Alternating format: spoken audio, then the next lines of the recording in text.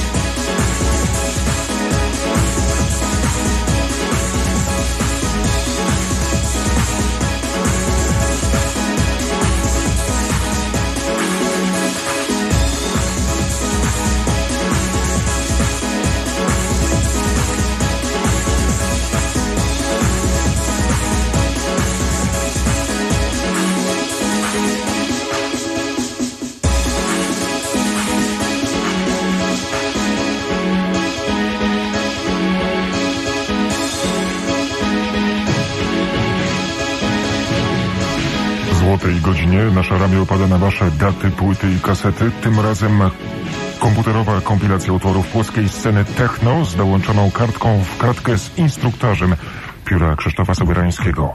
Cześć, RMFTMM. W kopercie znajduje się płytka z nagraniami płockiej sceny techno.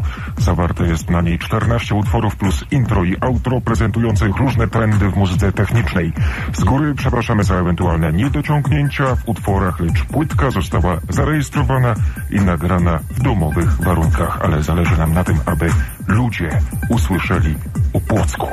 A więc specjalnie dla Was regularna Młocka z Płocka. Regularna młocka, przez ogródek. regularna młocka z Płocka była przed chwilką. Teraz następne prezentacje utworów, które przysyłaliście do nas przez ostatnie dwa lata.